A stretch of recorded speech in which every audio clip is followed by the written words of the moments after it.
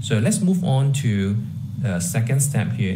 This is where PPP is going to perform authentication. In the first authentication mode that we are going to learn will be password authentication protocol. After the link negotiation is successful, authentication negotiation can perform. Remember I mentioned that authentication is an optional, but if you choose to enable authentication, the two authentication option here will be PAP and CHAP. And we highly recommend that you use CHAP rather than PAP.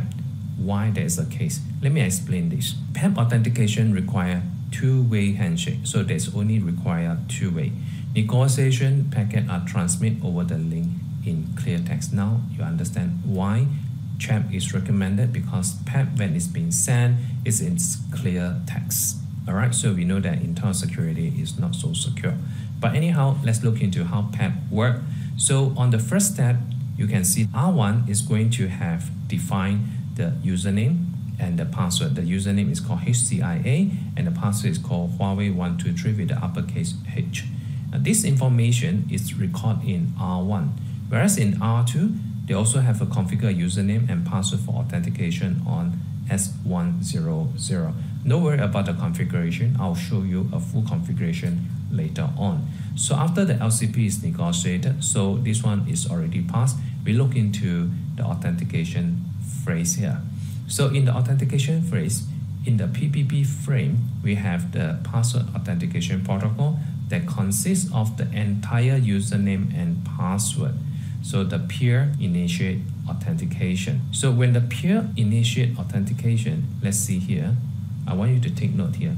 This information is actually sent by R2 to R1 and we call this as peer and we call R1 as authenticator.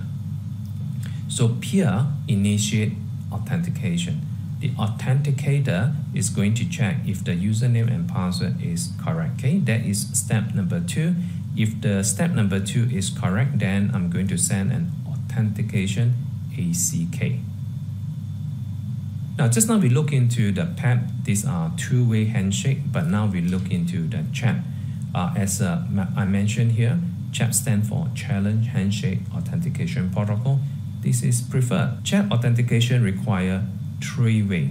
Okay, you can see here it's a three-way. Negotiation packets are encrypted before being transmitted on a link. This is important for security because it's of encryption. So again, we have the authenticator and we also have a peer here. R2 is a peer, R1 is an authenticator. So assuming that uh, the LCP is negotiated, so we have authentication take place. This authenticator, the authenticator initiate a challenge carrying a random number. So instead of the peer initiate, but this time using CHAP authentication is the authenticator who initiated first. You can see that it just sent a random number okay it's not a real uh, password or username and the protocol is using a CHAP in the PPP frame. This information is received by R2 now R2 upon receive this random number this is what it does. It's going to put in the ID of 1 they're going to add the random number with the Huawei. This information is going through the hashing and they have the MD5 Please remember that this information which is in MD5 result is not the actual username and the password, but it's just an MD5 result. This information, as you can see from here, code number 2, is a response ID1 name HCIA and the uh, MD5 result is being sent. So I have the name and I have the MD5 result, but I do not have the password is being sent to R1. R1, as an authenticator, is going to check, verify the MD5 value. So because that I already have this information in my database, the hash that I have over here must match the hash that I perform in R1, okay? So if the hash is successful, then the PPP authentication will be successful. So that's why CHAP is a three-way handshake. This is more secure as compared to PAP. Let's look into the third process here, which is NCP negotiation. So here we have a static IP negotiation. So in this third process, after PPP authentication negotiation is successful, then it will go into the NCP negotiation uh, phrase. Here we are going to negotiate the format and type of data packet transmit on the data link. IPCP is one of the protocol that used in this phrase. So IPCP, for example, is classified into static or dynamic. So let's look into the first one here, the static. Now in R1 and R2, they need to configure the IP address. So as you can see from here, we have 10111 slash 30 and 10112 slash 30. So step number three here, which is NCP negotiation. First, R1 is going to send a configure request packet. So this is a configure request packet stating that I am 10.1.1.30. R2 respond to confirm that I record this, uh, your IP address is 10.1.1 and now I'm requesting that my IP is 10.1.1.2 and then uh, R1 verify this information. So it's pretty simple on the static IP negotiation. Now we look into the dynamic IP negotiation. Now this is very commonly used, especially if you are going to get a dynamic IP. Think about the case where you are going to dial for your service provider. It can be uh, analog modem or it can be a ADSL. So you are going to do some authentication. Right now, you may not have IP because when you connect to your service provider, you may want to use a, a dynamic IP, and most likely you are going to use a PPPoE.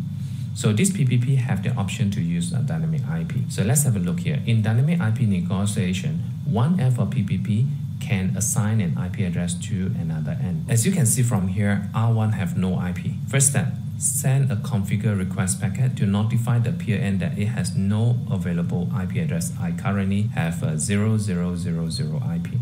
Now R2 upon receive it uh, is going to send a message of configure NAK saying that I'm going to give you 10111. So that determine that the peer IP address is invalid and return an IP address for negotiation. Okay, so the IP address to negotiate is 10.1.1.1. So it then uh, reach to R1.